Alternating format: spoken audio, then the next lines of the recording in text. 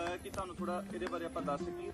ਪੰਜਾਬੀ ਸਮਝ ਆ ਰਹੀ ਕਿ ਹਿੰਦੀ ਬੋਲਾਂਗੇ ਪੰਜਾਬੀ ਜੀ। ਨਹੀਂ ਆ ਸਭ ਕੁਝ ਕਰਦੇ ਆ। ਅੱਗ ਲੱਗਦੀ ਕਿਸ ਤਰ੍ਹਾਂ?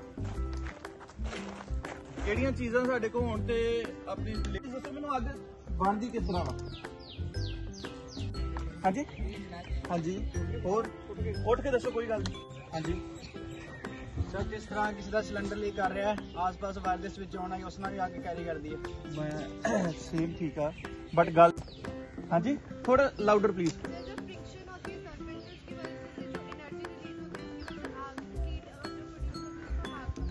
ਠੀਕ ਆ ਆਪਣੇ ਕੋਲ ਤਿੰਨ ਚੀਜ਼ਾਂ ਹੋਣ ਤੇ ਸਾਡੇ ਕੋਲ ਕੀ ਹੁੰਦਾ? ਸਾਡਾ ਇੱਕ ਫਾਇਰ ਟ੍ਰਾਇੰਗਲ ਹੁੰਦਾ ਜਿਹਦੇ ਵਿੱਚ ਸਾਡੇ ਕੋਲ ਤਿੰਨ ਚੀਜ਼ਾਂ ਹੋਣ ਤੇ ਅੱਗ ਕੀ ਕਰਦੀ ਹੈ? ਕੈਚ ਕਰਦੀ ਹੈ। ਇੱਕ ਪਹਿਲਾਂ ਕੀ ਹੋਇਆ? ਹੀਟ ਠੀਕ ਹੈ oxygen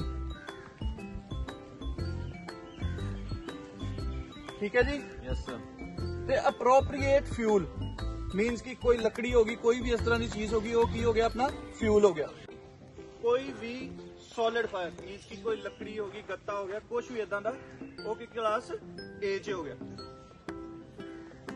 class B means petroleum ਤੁਸੀਂ ਚਲਾ ਕੇ ਦੇਖ ਹੀ ਲਿਆ ਤੁਹਾਡੇ ਮੈਂ ਸਾਹਮਣੇ ਚਲਾਇਆ ਸੀ ਨਾ ਹੈਨਾ ਹੁਣ ਮੈਂ ਪਹਿਲਾਂ ਤੁਹਾਨੂੰ ਇਹਦੇ ਬਾਰੇ ਦੱਸ ਰਿਹਾ ਪ੍ਰੈਸ਼ਰ ਗੇਜ ਦੇਖੋ ਪਹਿਲਾਂ ਸਾਰਿਆਂ ਨੂੰ ਵਿਜ਼ੀਬਲ ਹੈਗੀ ਹੈ ਠੀਕ ਹੈ ਗ੍ਰੀਨ 'ਚ ਨੀਡਲ ਠੀਕ ਹੈ ਦੇਖੋ ਦੇਖੋ ਸਾਰੇ ਜਣੇ ਦੇਖ ਰਹੇ ਹੋ ਨੀਡਲ ਗ੍ਰੀਨ 'ਚ ਹੈ ਓਏ ਮੂੰਹ ਬੰਦ ਕਰ ਲਓ ਦੇਖੋ ਦੇਖੋ ਦੇਖੋ ਠੀਕ ਹੈ ਠੀਕ ਹੈ ਇੱਧਰ ਲੋ ਪ੍ਰੈਸ਼ਰ ਆ, ਉਧਰ ਕੀ ਆ? ਹਾਈ ਪ੍ਰੈਸ਼ਰ ਆਪਾਂ ਪਹਿਲਾਂ ਸਟਾਰਟਿੰਗ ਤੋਂ ਕੀ ਕਰਨਾ, ਜਦੋਂ ਆਪਾਂ ਫਾਇਰ ਕਿਤੇ ਕੈਚ ਹੋ ਗਈ ਆ ਇਹਦੀ ਪਹਿਲਾਂ ਕੀ ਕਰਨਾ ਆਪਾਂ ਸਟੀਲ ਰਿਮੂਵ ਕਰਤੀ, ਠੀਕ ਹੈ ਫਿਰ ਮੈਂ ਤੁਹਾਨੂੰ ਕੀ ਕਿਹਾ ਸੀਗਾ? ਹਾਂ ਪਿੰਨ ਕੱਢਾਂਗੇ ਜੀ ਬਾਹਰ, ਠੀਕ ਹੈ ਫਿਰ ਹੁਣ ਇਹਦਾ ਸੇਫਟੀ ਲੌਕ ਬਾਹਰ ਹੋ ਗਿਆ। ਬਾਹਰ ਹੋ ਗਿਆ ਤੇ ਤੁਸੀਂ ਕੀ ਕਰਨਾ ਵਾ? ਇਹਨੂੰ ਏਮ ਕਰਨਾ ਵਾ। ਏਮ ਕਰਨਾ ਵਾ। ਇੱਕ ਪੈਰ ਤੁਸੀਂ ਹਮੇਸ਼ਾ ਇਹਨੂੰ ਜਦੋਂ ਵੀ ਯੂਜ਼ ਕਰਨਾ ਵਾ ਆ ਤੁਹਾਡਾ ਫਰੰਟ ਜਿਹੜਾ ਲੈਫਟ ਪੈਰ ਆ। ਕਿਉਂਕਿ ਇਹ 'ਚ ਪ੍ਰੈਸ਼ਰ ਹੁੰਦਾ ਵਾ, ਇਹਨੇ ਬੈਕ ਮਾਰਨੀ ਹੁੰਦੀ ਹੈ ਇੱਕ ਪੈਰ ਬਾਹਰ ਕੱਢ ਕੇ, ਫਿਰ ਉਸ ਤੋਂ ਬਾਅਦ ਚੋ ਤੁਹਾਨੂੰ ਮੈਂ ਕਿਹਾ ਸੀਗਾ ਹਾਰਟ ਬਾਰੇ, ਜਿਸ ਤਰ੍ਹਾਂ ਤੁਹਾਨੂੰ ਮੈਂ ਸਮਝਾਇਆ ਸੀ ਠੀਕ ਹੈ ਸੇਮ ਐਜ਼ ਇਟ ਇਜ਼ ਹੀ ਠੀਕ ਹੈ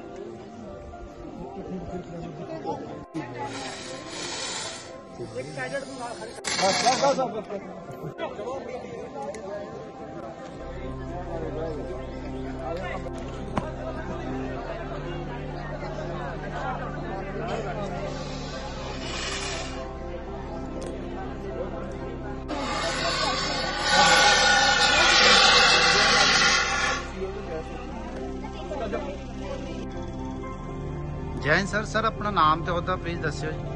ਜੈਨ ਸਰ ਮੈਂ Jagmohan sub fire officer fire station civil line ਤੋਂ ਆਪਣੇ ਟੀਮ ਦੇ ਨਾਲ ਸਾਹਿਲ ਗਿੱਲ ਸਾਰੀ ਜਿਹੜੀ ਟੀਮ ਆਪਣੇ ਫਾਇਰ ਫਾਈਟਰ ਨਾਲ ਆਏ। ਸਰ ਇੱਥੇ ਐਨਸੀਸੀ ਕੈਂਪ 'ਚ ਤੁਸੀਂ ਪਹੁੰਚੇ ਮੇਨ ਮਨੋਰ ਤੇ ਇੱਥੇ ਕੀ ਆ ਜੀ? ਸਰ ਇੱਥੇ ਆ ਗਏ ਜਿਹੜੇ ਐਨਸੀਸੀ ਕੈਂਪ ਦੇ ਜਿਹੜੇ ਬੱਚੇ ਹੈਗੇ ਉਹਨਾਂ ਨੂੰ ਅਸੀਂ ਫਾਇਰ ਸੇਫਟੀ ਸੰਬੰਧੀ ਉਹਨਾਂ ਨੂੰ ਜਾਗਰੂਕ ਕੀਤਾ ਉਹਨਾਂ ਨੂੰ ਦੱਸਿਆ ਵੀ ਕਿਸ ਤਰ੍ਹਾਂ ਦੀ ਕਿੰਨੀ ਕਲਾਸੀਫਿਕੇਸ਼ਨ ਫਾਇਰਿੰਗ ਹੁੰਦੀ ਹੈ। ਤੇ ਕਿਸ ਤਰ੍ਹਾਂ ਅੱਗ ਤੇ ਉੱਤੇ ਕਾਬੂ ਪਾਣਾ ਉਹਨਾਂ ਨੂੰ ਅਸੀਂ ਉਹ ਜਿਹੜਾ ਫਾਇਰ ਐਕਸਟਿੰਗੁਇਸ਼ਰ ਚਲਾ ਕੇ ਵਿਖਾਏ ਆ ਉਹਨਾਂ ਨੂੰ ਅਸੀਂ ਪੂਰੀ ਜਿਹੜੀ ਫਾਇਰ ਸੇਫਟੀ ਦੇ ਸੰਬੰਧੀ ਪੂਰੀ ਹੀ ਜਾਣਕਾਰੀ ਦਿੱਤੀ ਹੈ। ਹਾਂਜੀ ਸਰ ਮੈਂ ਦੇਖਿਆ ਤੇ ਬਹੁਤ ਵਧੀਆ ਢੰਗ ਨਾਲ ਤੁਸੀਂ ਭਾਸ਼ਣ ਦੇ ਕੇ ਔਰ ਡੈਮੋ ਦੇ ਕੇ ਸਾਰੇ ਬੱਚਿਆਂ ਨੂੰ ਸਮਝਾਇਆ। ਤੇ ਤੁਸੀਂ ਵਿਦਿਆਰਥੀਆਂ ਨੂੰ ਜਾਂ ਸ਼ਹਿਰੀਆਂ ਨੂੰ ਕੀ ਸੰਦੇਸ਼ ਦੇਣਾ ਚਾਹੋਗੇ ਜਿਸ ਤਰ੍ਹਾਂ ਕਿਤੇ ਅੱਗ ਲੱਗ ਜਾਂਦੀ ਹੈ? ਤੇ ਕਿਹੜੇ ਨੰਬਰ ਤੇ ਤਾਲਮੇਲ ਕਰ ਸਕਦੇ ਆ ਤੇ ਕਿਸ ਤਰ੍ਹਾਂ ਆਪਾਂ ਉਹਨੂੰ ਉਹਦੇ ਤੇ ਕਾਬੂ ਪਾ ਸਕਦੇ ਸਰ ਪਹਿਲੇ ਤਾਂ ਇਹ ਬੱਚਿਆਂ ਨੂੰ ਦੱਸਿਆ ਵੀ ਹੈਗਾ ਉਹਨਾਂ ਨੂੰ ਪ੍ਰੈਕਟੀਕਲੀ ਕਰਕੇ ਵੀ ਦੱਸਿਆ।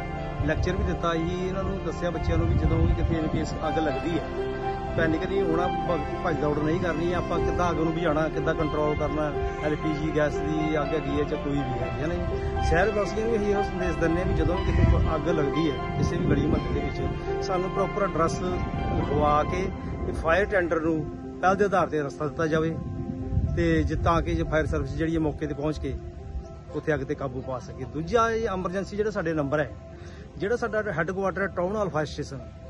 ਉੱਥੇ ਨੰਬਰ ਸਰ ਐਮਰਜੈਂਸੀ ਨੰਬਰ 101 ਦੂਸਰਾ 0183 ਕੋਡ ਲਾ ਕੇ 2557366 2541111 ਔਰ ਇਧਰਲੇ ਪਾਸੇ ਜਿਹੜਾ ਨੀਅਰੈਸਟ ਹੈਗਾ ਜੀ ਸਿਵਲ ਲਾਈਨ ਫਾਇਰ ਸਟੇਸ਼ਨ ਜਿੱਥੋਂ ਅਸੀਂ ਆਈਏ ਪੂਰੀ ਟੀਮ ਉੱਥੇ ਹੈਗਾ ਜੀ 0183 256 6212 ਅਗਰ ਬੇਰੀਗੇਟ ਇਲਾਕੇ ਦੇ ਵਿੱਚ ਅੱਗ ਲੱਗਦੀ ਹੈ ਤਾਂ ਉੱਥੇ ਹੈਗਾ ਜੀ 0183 255 1699 ਜੀ।